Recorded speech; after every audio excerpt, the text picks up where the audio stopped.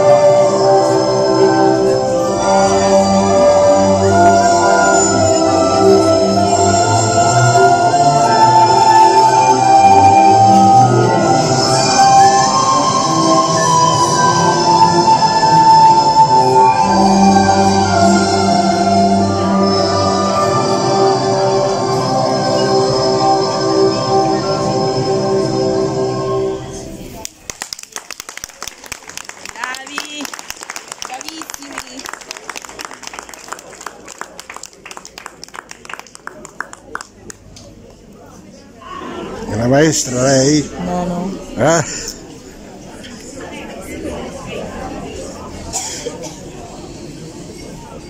Eh, guardi, io la conosco, eh.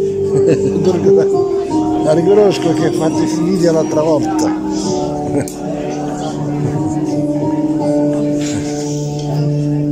Sì.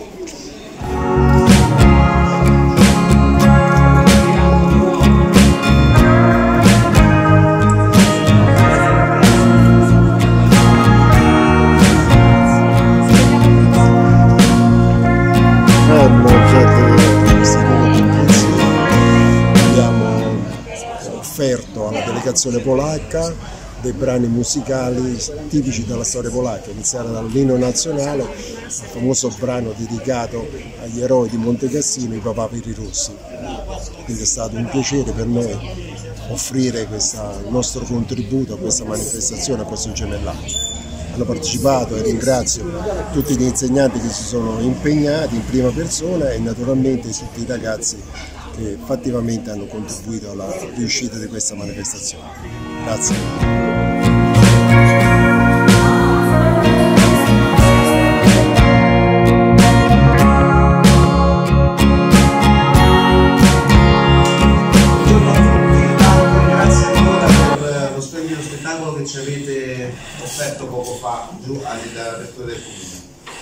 Witamy wszystkich serdecznie. Przede wszystkim e, dziękujemy uczniom za wspaniały występ.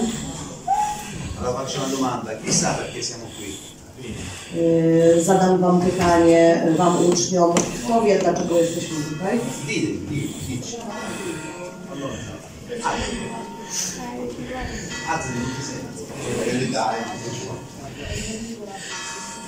Jesteśmy tu z powodu poległych polskich żołnierzy.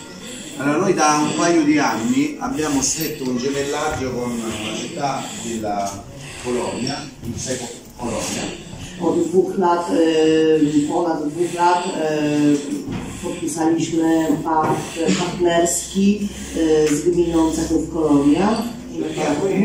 Abitanti cittadina polacca hanno combattuto qui durante la seconda guerra mondiale. Z gminy tej niektórzy żołnierze walczyli o Monte Cassino. E hanno fatto parte del secondo corpo d'armata del generale Anders. Należeli do drugiego korpusu polskiego generała Andersa. Voi sapete che noi in questo periodo, dal 18 maggio al 25 maggio, ogni anno commemoriamo proprio questo eh, evento. Jak wiecie dobrze, każdego roku od 18 do 25 maja obchodzimy rocznicę, kolejne rocznice bitwy o Piemonte, San Giovanni. Cos'è un gemellaggio? Un gemellaggio è un viaggio attraverso le tradizioni Co to jest partnerstwo miast? E, Partnerstwo miast jest to podróż historyczna poprzez epoki historyczne wspólne dla obu miast, attraverso le esperienze, attraverso i sapori poprzez doświadczenia, poprzez odczucia mieszkańców tychże miast. attraverso le radici di due comunità che hanno qualcosa in comune. zgłębiając korzenie obu społeczności, które są często właśnie korzeniami wspólnymi. Voi dovete pensare che se oggi noi siamo liberi di uscire, liberi di fare le cose, di poterci organizzare, perché 72 anni fa alcuni eroi, molti eroi polacchi, hanno sacrificato la loro vita in nome di un ideale più grande chiamato libertà. Powinniście wiedzieć, że fakt, że dziś jesteśmy wolnymi ludźmi, możemy cieszyć się wolnością, możemy swobodnie się przemieszczać, możemy żyć e, wolnym życiem, zawdzięczamy e, bohaterom polskim, którzy e, uwolnili nas 79 lat temu, dokonując tego heroicznego czynu. Così come è scritto sul nostro monumento, sul monumento dei campi di prigionia russi.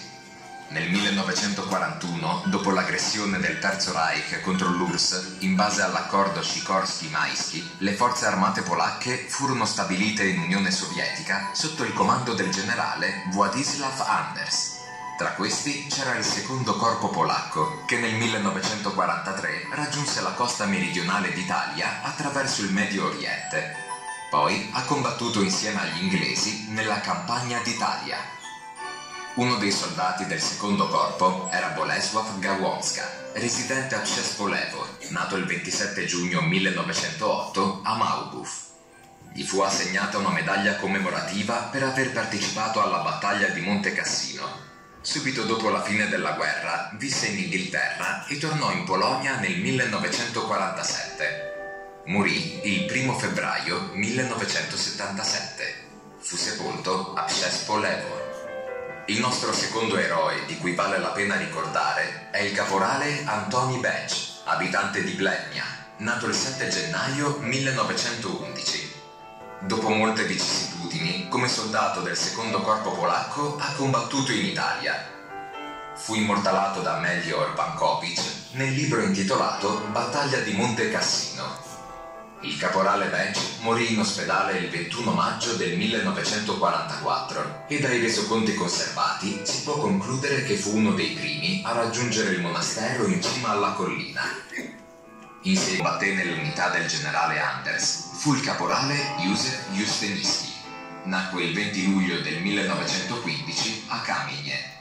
Nell'eroico attacco di Monte Cassino sopravvisse, ma morì il 18 luglio 1944 durante la liberazione di Ancona. La descrizione dell'azione di combattimento durante la quale fu ucciso il caporale Justinischi fu inclusa nel libro di Valdemar Handke, Sempre Fidelis. Il coraggioso uomo della Grande Polonia fu sepolto nel cimitero di guerra polacco a Loreto, decorato postumo con la Croce al Valore. Le autorità del comune Zekuf Colonia hanno deciso di onorare la memoria dei loro eroi sull'esempio di Wojciech Stacek, che ogni corale Józef Justenisky. Sono previsti ulteriori incontri di funzionari e giovani delle amministrazioni locali polacche e italiane per lo scambio di conoscenze storiche ed esperienze locali. In questo modo Monte Cassino ha legato ancora una volta le sorti di entrambe le nazioni.